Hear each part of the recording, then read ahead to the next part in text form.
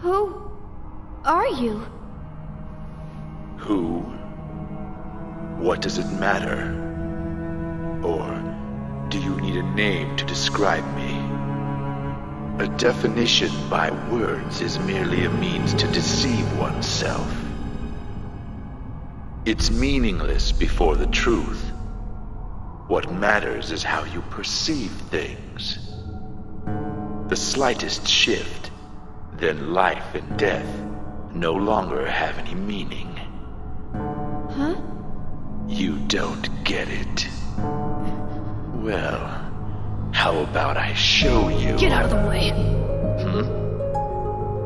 I said get out of my way! Ah, you've got guts, boy. Why don't you make me move? Shouldn't be a problem for a URTV. Now should it? Damn right!